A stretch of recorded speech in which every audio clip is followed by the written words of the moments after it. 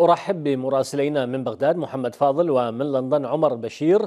أهلا بكما عمر. لماذا تأخر هذا القرار بالنسبة للحظر للعائدين من السفر من الخارج وما هي تفاصيله وأهم نقاط الخلاف عليه؟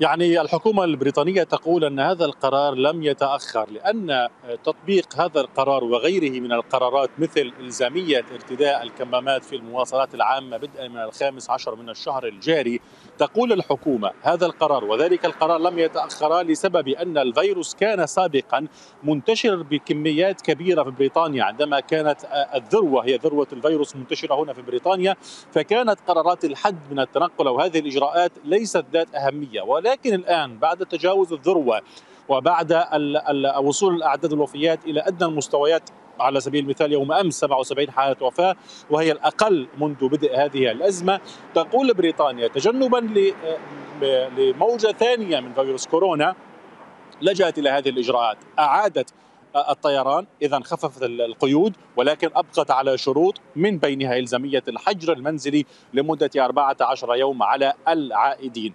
هذا القرار يرحب به الجميع سواء المطارات والمعابر وأيضا القادمين. ولكن التباين هو أن هذا القرار سيؤدي إلى تقليل القليل الموجود أصلا من أعداد المسافرين.